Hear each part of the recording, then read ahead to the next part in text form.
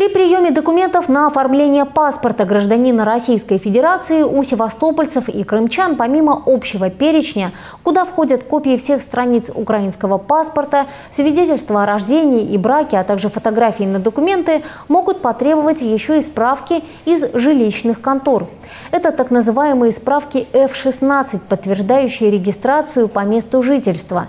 Предоставление справки не противоречит административному регламенту Федеральной миграционной информационной службы Российской Федерации по выдаче и замене удостоверений личности. Стоит отметить, что выписку из рэпов просят не у всех.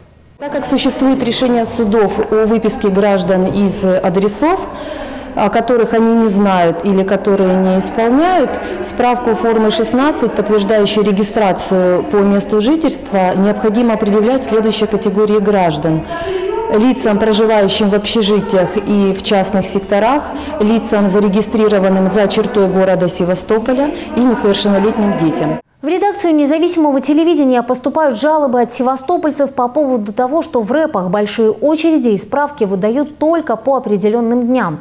Наша съемочная группа побывала 15 мая в нескольких ремонтно-эксплуатационных предприятиях и нигде не увидела больших очередей. Как пояснили паспортисты, они наладили ежедневную выдачу справок.